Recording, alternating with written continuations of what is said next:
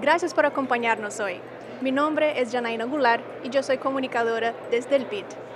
La bioeconomía es un elemento crítico para una transición a una economía justa y de bajo carbono.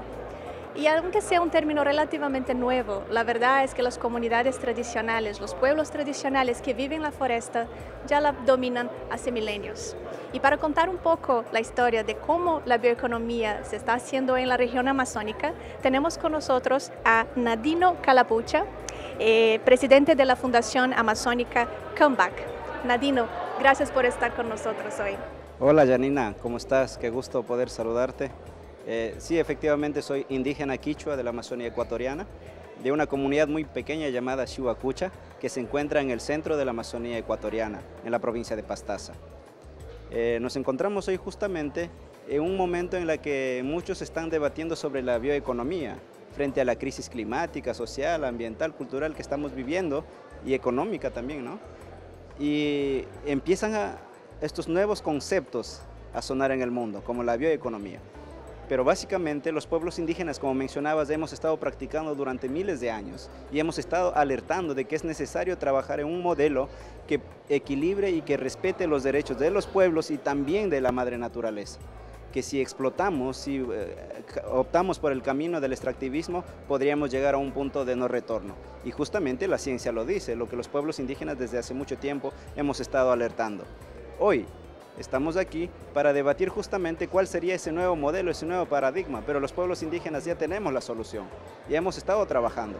Y hoy estamos aquí para poner a disposición nuestros conocimientos, nuestros territorios y nuestro sistema de gobernanza para poder trabajar juntos con empresas privadas, con gobiernos, con aliados y poder responder a esas emergencias a través de la bioeconomía que básicamente es una definición entre los conocimientos y saberes ancestrales y los territorios con los conocimientos modernos y occidentales, que tenemos que trabajar equilibrado bajo un principio de que nadie se quede atrás, que todos avancemos juntos, que todos tengamos todo y, que a nadie le falte nada y se respeten los derechos de la naturaleza y los derechos humanos. Fantástico, Nadico. ¿Nos puede contar un poco tu historia de vida? Nací en la comunidad de Chihuacucha, como ya les mencioné, eh, hasta mis 11 años. Viví siempre con mis abuelos, mis primos. De niño tenía un tucán, un pájaro que me acompañaba en, las mañanas y en los atardeceres, que un día voló y nunca más regresó. Y yo también tenía que partir hacia la ciudad para continuar con mi estudio secundario. Enfrenté muchas realidades y es una realidad que están viviendo muchos niños y jóvenes hoy mismo a lo largo y ancho de la cuenca amazónica. La discriminación, la exclusión, la vulneración de derechos, el racismo. Pero frente a ello tuve que enfrentar esa realidad. Y hoy estamos aquí eh, no para cuestionar al mundo, no para competir con el mundo, no para decir que nuestra cultura y nuestros conocimientos es mejor que la del mundo occidental, sino para reconocernos como diversos, de que ninguna cultura es más ni menos, simplemente diferentes, y en esa diferencia construir. Eh, mi abuelo decía, que vaya donde vayas o estés donde estés, siempre tienes que regresar a tu pueblo. Y hoy considero que voy a regresar pero tengo que regresar con noticias positivas, de que algo importante están decidiendo en el mundo, entre pueblos indígenas, gobiernos, aliados, donantes, filántropos, para defender nuestro planeta, para proteger nuestro planeta y aportar a la lucha de los pueblos, quienes están a través de varias acciones, emprendimientos, están luchando en esta defensa, a través de eh, eh, microempresas, a través de muchos emprendimientos, y están dando respuestas concretas. Y, esos resultados hay que apoyar con financiamiento, con acompañamiento técnico, con el fortalecimiento organizativo, administrativo, siempre respetando las estructuras organizativas. Hay que también entender que los pueblos indígenas tenemos sistemas de gobernanzas, estructuras de gobernanzas. Entonces hay que respetar y trabajar. Ahí está la solución, los territorios, los pueblos indígenas, eh, los conocimientos y las estructuras organizativas. Fabuloso. Nadino, para los gobiernos, empresas que quieren invertir en bioeconomía hoy, ¿qué consejos daría a estas personas, a estas organizaciones, a estas empresas? ¿Por dónde empezar? ¿Qué deberían considerar como primordial, principal para empezar sus proyectos?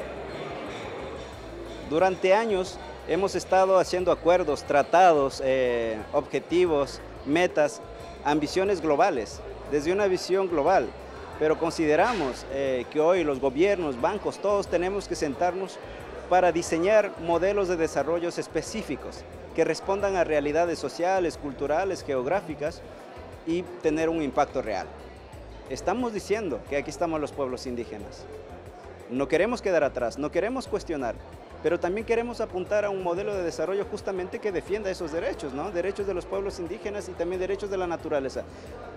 El panel científico por la Amazonía lo ha denominado al bioma amazónico como el corazón biológico del planeta. Y ese corazón está en un punto de no retorno frente a modelos extractivistas, la deforestación, eh, los monocultivos, etc. Entonces es necesario trabajar juntos. A los bancos le hacemos un llamado. Aquí estamos los pueblos indígenas, las organizaciones están en sus territorios. Dialoguen con ellos. Siéntense como aliados, aliados estratégicos para responder a esta crisis y también ver que se respeten los derechos humanos. Nandino, muchas gracias, de verdad. Gracias por estar con nosotros. Y si ustedes quieren saber un poco más sobre bioeconomía, les recomendamos visitar nuestras redes sociales. Muchas gracias por estar con nosotros.